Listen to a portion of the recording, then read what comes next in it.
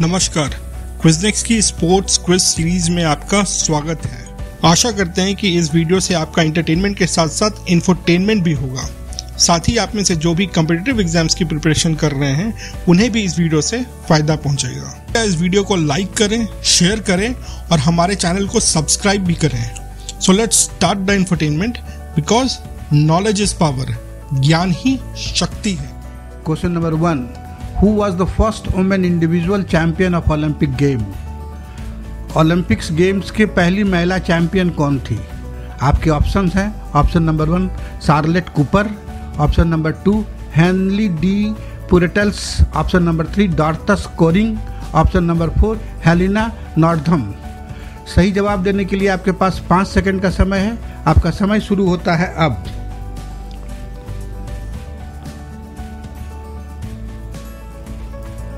सही जवाब है option number one Charlotte Cooper at the 1900 Olympics in Paris we are women participated for the first time Charlotte Cooper from the Britain became the first women individual champion in tennis on eleventh July nineteen hundred Helene de Pourtales became the first women champions of Olympic as a member of winning sailing teams on twenty second May nineteen hundreds 1900 Olympics जो Paris में हुआ था, उसमें महिलाएँ पहली बार participate की थी। और शार्लेट कूपर ब्रिटेन के पहली महिला थी जो टेनिस में चैंपियन बनी थी 11 जुलाई 1900 को।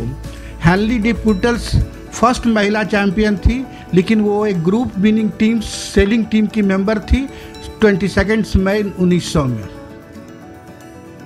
Question number two who was the first president of the international Olympic committee international Olympic committee के पहले प्रेसिडेंट कौन थे?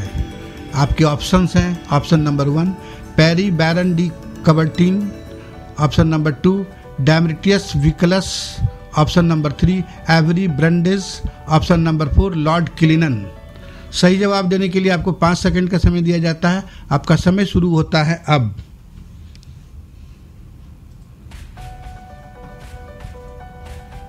सही जवाब है option number two Demetrius Vikelas International Olympic Committee was establish on twenty third June eighteen ninety four upon the initiative of Prince Pierre Baron de Coubertin a eminent representative of Greek community Demetrius Vikelas elected as president of the International Committee International Olympic Committee consist of one president four vice president and ten members International Olympic Committee 23 जून अठारह सौ चौरानवे को French पैरी बैरन D कवर्टिन के initiatives पर स्थापित किया गया था, जिसमें ग्रीक के एक बहुत ही प्रतिष्ठित व्यक्ति विकलस को पहली बार इंटरनेशनल ओलंपिक कमेटी का प्रेसिडेंट बनाया गया था। इंटरनेशनल ओलंपिक कमेटी में एक प्रेसिडेंट होते हैं, चार वाइस प्रेसिडेंट होते हैं और दस मेंबर होते हैं। Question number three who is youngest Olympian सबसे कम उम्र के ओलंपिक्स में भाग लेने वाले खिलाड़ी कौन से हैं? Option number one Demetrius Loundras option number two Marjorie Gestrings option number three Kusuo Kitamura option number four Inge Sorensen सही जवाब देने के लिए आपके पास पाँच सेकंड का समय है। आपका समय शुरू होता है अब।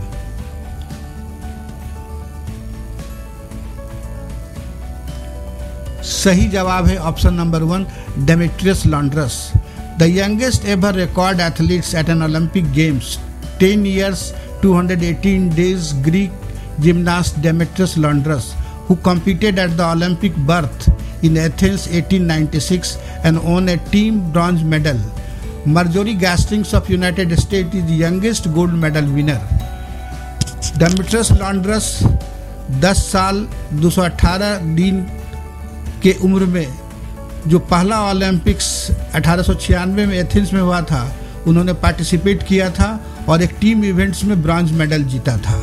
मार्जोरी गैस्टिंग्स यूनाइटेड स्टेट्स के ऐसे प्लेयर हैं जो सबसे पहले यंगेस्ट गोल्ड मेडल विनर हैं। Question number four who was the first modern Olympic champion modern Olympic के पहले चैंपियन कौन थे? आपके ऑप्शंस हैं। Option number one James Brendan Connolly option number two Sumner Paine option number three Thomas Brook option number four Ellery Clark सही जवाब देने के लिए आपके पास पाँच सेकंड का समय है। आपका समय शुरू होता है अब।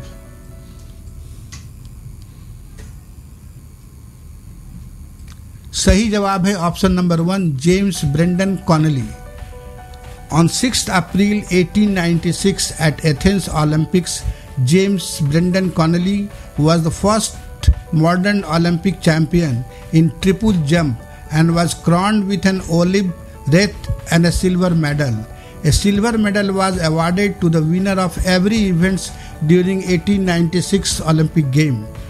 6 अप्रैल अठारह को एथेंस में पहली बार जो ओलंपिक्स हुआ था उसमें जेम्स ब्रेंडन कॉनली सबसे पहले मॉडर्न ओलंपिक चैंपियन बने थे, जो ट्रिपल जंप में हुआ था।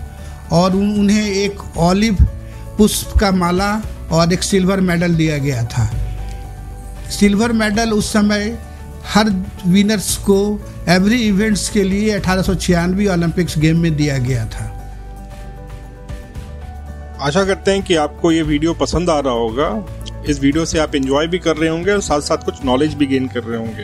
तो अगर आपको ये वीडियो पसंद आ रहा है तो इस वीडियो को लाइक करें शेयर करें और हमारे इस चैनल को सब्सक्राइब करें। So let's resume the infotainment question number five for the first time in Olympic games athletes march into the stadium behind national flag पहली बार किस ओलंपिक्स गेम में एथलीट्स ने अपने नेशनल फ्लैग के साथ स्टेडियम में मार्च किया था? आपके ऑप्शंस हैं। Option number one 1908 London Olympics option number two 1904 Saint Louis Olympics option number three 1900 Paris Olympics option number four 1920 Antwerp Olympics सही जवाब देने के लिए आपके पास पाँच सेकेंड का समय है। आपका समय शुरू होता है अब।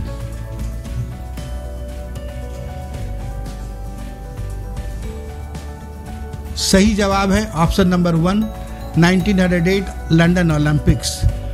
First opening ceremony held during 1908 Olympics in London, where for the first time athletes marched into the stadium behind their national flags. Processions led by Greek team, followed by other teams in alphabetical orders based on the host team language, and at last the host country. पहली बार opening ceremony 1908 London Olympics games में organise किया गया था और पहली बार ही athletes ने stadium में प्रवेश अपने नेशनल फ्लैग के साथ किया था, जिसमें ग्रीक के टीम सबसे आगे थी। उसके बाद अल्फ़ाबेटिकल ऑर्डर्स में, जो कि होस्ट टीम के लैंग्वेज में बेस्ट था और अंत में होस्ट कंट्री के जो पार्टिसिपेंट थे, वो प्रोसेशन में थे। Question number six which are the International Olympic Committee's official language International Olympic Committee के ऑफिशियल लैंग्वेज कौन से हैं? आपके ऑप्शंस हैं, आपके option number one English and Greek option number two Greek and French option number three English and French option number four Greek and Spanish सही जवाब देने के लिए आपके पास पाँच सेकेंड का समय है। आपका समय शुरू होता है अब।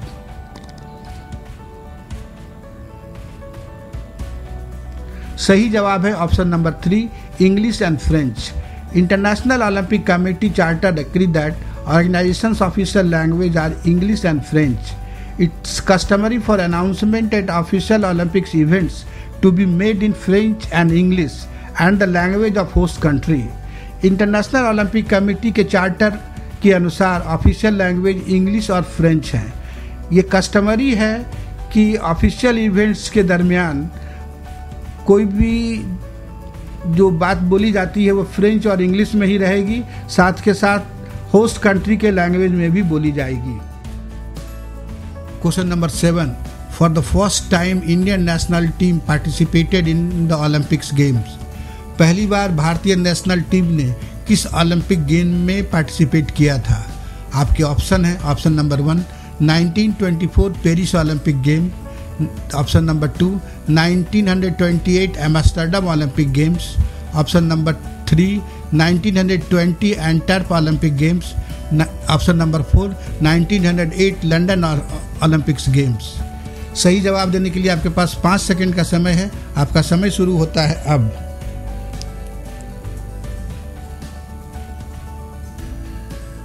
सही जवाब है option number three Antwerp Olympic games.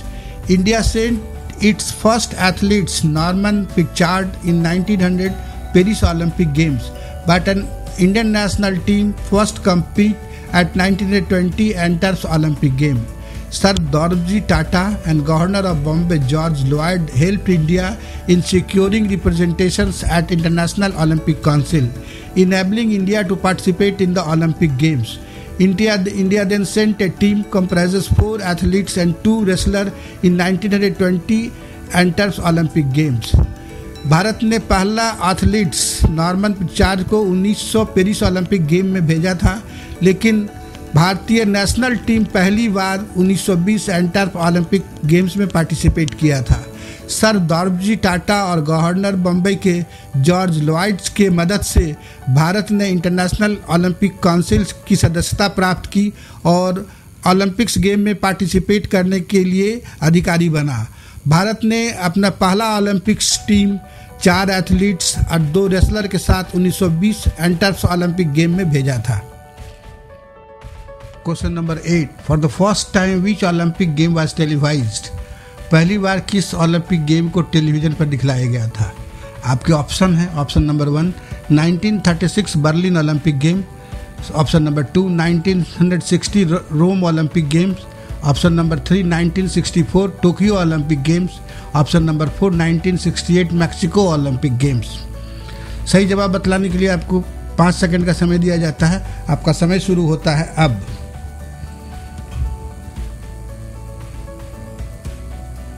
सही जवाब है option number one 1936 Berlin Olympic game.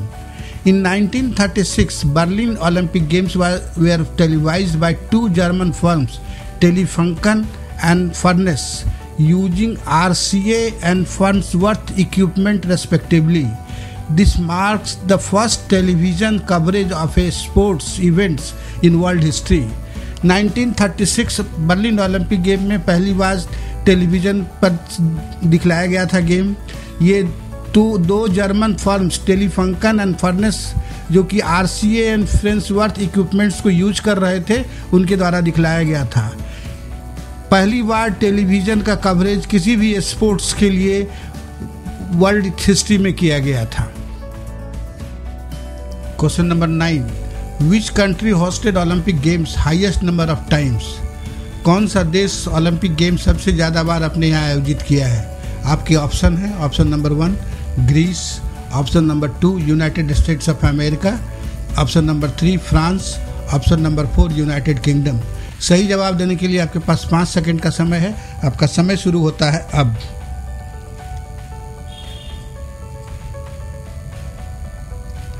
सही जवाब है option number two, United States of America. United States of America ने चार बार ओलंपिक्स गेम्स आपने यहाँ आयोजित किया है। 1904 में 1932 में उन्नीस सौ चौरासी में उन्नीस सौ छियासी में। United States of America hosted Olympic games four times in 1904, 1932, 1984 and 1996। Question number ten who was the first athlete to be disqualified at the Olympic games for using drugs वो कौन से पहले एथलीट्स थे जिन्हें ओलंपिक्स गेम्स में disqualify किया गया था ड्रग्स के यूज़ के कारण। आपके ऑप्शन है। Option number one Hans Gunnar Liljenwall option number two Lance Armstrong option number three Luiza Galiulina option number four Marion Jones सही जवाब देने के लिए आपके पास पाँच सेकंड का समय है। आपका समय शुरू होता है अब।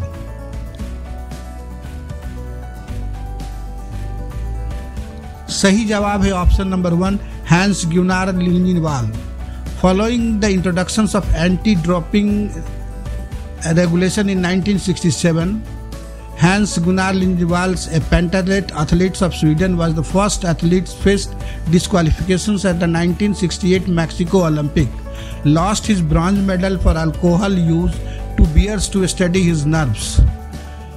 पहली बार एंटी डॉपिंग रेगुलेशन 1967 में लागू होने के बाद ग्यूनार लिंजिनवाल पेंटालेथ है स्वीडन के। उन्हें डिस्कालीफाई किया गया था 1968 मैक्सिको ओलंपिक्स में। और उन्हें अपना ब्रॉन्ज मेडल जो उन्होंने अल्कोहल यूज़ के अपने नर्व्स को स्थिर रखने के लिए किया था, जिसके कारण। इस वीडियो को पूरा देखने के लिए धन्यवाद। आशा करते हैं कि वीडियो आपको पसंद आई होगी। कृपया इस वीडियो को लाइक ज़रूर कर दें और अपने दोस्तों में, अपने परिवार में इस वीडियो को शेयर करें। और साथ ही इस चैनल को सब्सक्राइब कर दें एक वहाँ पे बेल आइकन होगा, उस बेल आइकन को ज़रूर दबाएँ, ताकि फ्यूचर में हम जो भी नई वीडियो डालें, उसका नोटिफिकेशन आपको मिल पाए।